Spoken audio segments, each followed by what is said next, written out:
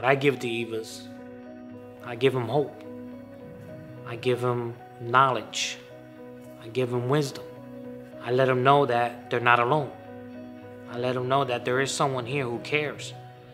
I give them that that encouragement, man, that to pick themselves up and have hope in life.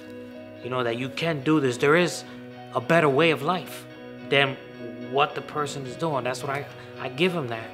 I give them that uplifting